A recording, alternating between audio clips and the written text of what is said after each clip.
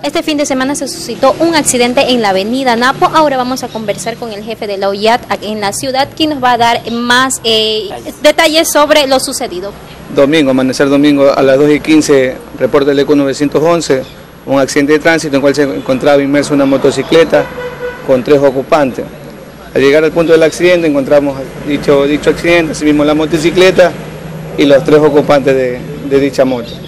En el momento se pudo percatar la ambulancia que llegó que el conductor, posible conductor de- del vehículo estaba fallecido y asimismo dos personas heridas en el lugar, que fueron trasladadas a diferentes casas asistenciales y nosotros a realizar las diferentes pericias, como recoger lo que son los indicios dentro, dentro de la zona del accidente y asimismo comenzar la investigación dentro del caso, por eso hasta ahí donde vamos a dar la entrevista.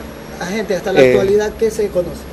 Que la persona que falleció es de nombre Fausto Benavide y las dos personas más era un joven llamado Kevin Fajardo, el nombre de la señorita, ah, sé que creo que es Sharon, se desconoce asimismo su estado de salud de, de Eh, ambas personas. ¿Ellos de dónde son?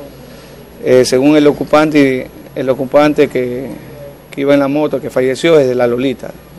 ¿Se conoce cuál es el conductor o cuál sería el conductor en ese momento del vehículo? Se desconoce, por eso se están haciendo las diferentes diligencias para esclarecer este caso. ¿no? Las debidas precauciones, cogiendo los indicios, tomando fotos del lugar y, y haciendo el levantamiento del cadáver, ordenado por el señor fiscal agente de guardia en ese momento. Agente, según los indicios o las investigaciones, ¿qué se presume que se habría suscitado según las versiones de los Se, se está estudiando eso mismo, se está estudiando, se está analizando para hacer el diferen- la- lo que es el peritaje. No, no se puede dar a- hasta el momento ni una, ni una de las causas por qué se fundamentó el accidente de tránsito. Lo que sí se puede dar es recomendaciones sobre que usen el casco de seguridad y que no pueden llevar tres personas en una motocicleta que conduzcan siempre con las medidas de seguridad necesarias y que tengan las observaciones sobre las señales de tránsito.